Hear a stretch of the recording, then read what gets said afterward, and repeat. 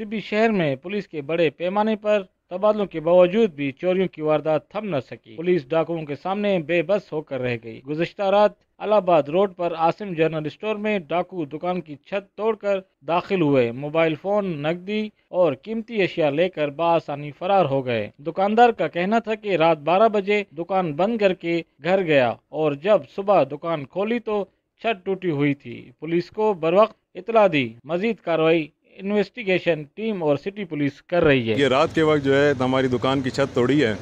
तो बंदे घुसे हैं अंदर।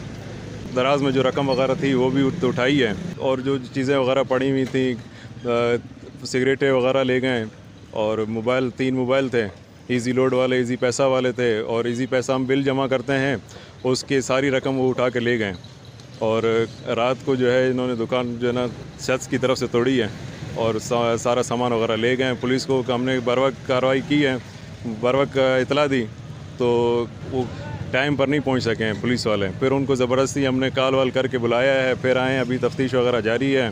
क्राइम ब्रांच वाले आए, फिंगरप्रिंट वगैरह ले रहे हैं। पचास हज़ार तक का कैश था, मोबाइल थे, दो इजी लोड वाले और इजी पैसा वाले थे। अभी चौकीदार की भी तलाश है कि वो किधर है। बकाया तो ये छत के ज़रिए जो है ना, इन्होंने घुसे हैं। टपे हैं दुकान के अंदर चोरी वगैरह की है।